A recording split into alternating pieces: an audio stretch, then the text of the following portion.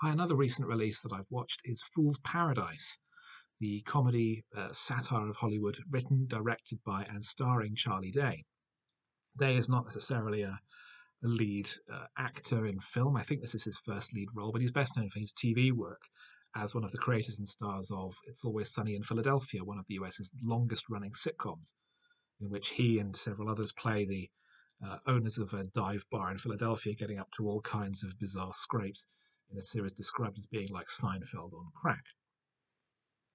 Um, Day's feature debut here is about a man with the mind of a dog, uh, effectively, uh, who is um, in her, incarcerated in a mental hospital, but released because they can't afford to keep him anymore, and just let uh, to walk onto the streets, where he is discovered by a movie producer who realizes he is the absolute spitting image of a troublesome English actor who's starring in a film about Billy the Kid.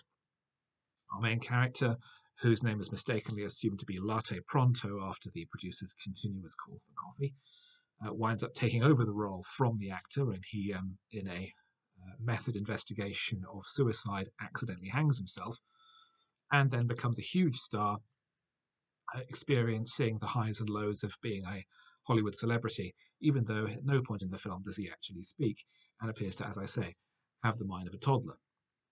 Um, it's a knockoff of Peter Sellers being there. While that film was more about politics and American society as a whole, this is confined solely to being a satire on the vapidity of Hollywood and celebrity culture. But it is so stale and so unimaginative and so unoriginal in its perceptions. Its portrayal of a movie set, for example, is like something out of the 30s, uh, when this is supposed to be, be a film with a present day setting. Um, it's extremely weak and extremely lazy. Um, the bulk of the film was apparently shot five years ago, um, but the first cut, screened within the industry, did not get a very strong reception. And Guillermo del Toro, a good friend of Day's from having worked on um, Pacific Rim, and del Toro returning the favor by guest starring in It's Always Sunny in Philadelphia, gave him notes and persuaded him to rewrite and reshoot a large chunk of the film, which uh, happened after lockdown. And eventually the film was released earlier this spring and absolutely disappeared without trace. There is a very impressive supporting cast. Um, Kate Beckinsale, uh, Ken Jeong, John Malkovich has a brief cameo role. Uh, Ray Liotta, in I believe his last film, plays the producer. Um, but it's it's it's so unfunny for a satire.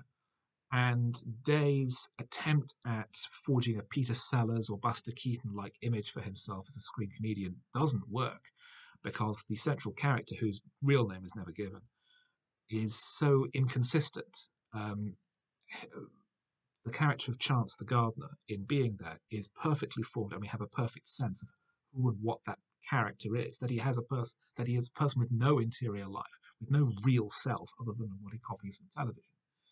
There is no uh, source element for Day's character, and as a result, there's nothing for him to ground the behavior in. There's no context for his personality. We're told early on uh, when he's introduced that his condition might be the result of some past trauma, but that's never elaborated on. We never find out anything about him. Um, and he could simply be a, a holy fool in the style of a, a Buster Keaton or a Charlie Chaplin type character.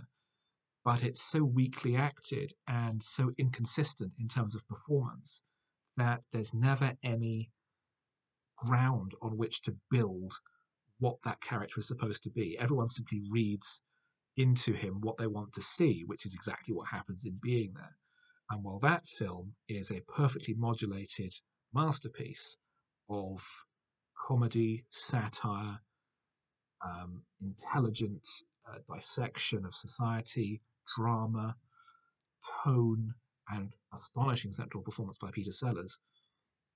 Here we have really not much more than a vanity project for Day, who is works so well in the ensemble uh, he has on television, but here as the center of attention, writing, directing, and starring in a big budget feature, he is completely lost, and the result is a comedy with no jokes, to be honest, a satire with no teeth, um, an absolutely antiquated set of targets, and really something that I couldn't help feeling was a complete waste of everyone's time.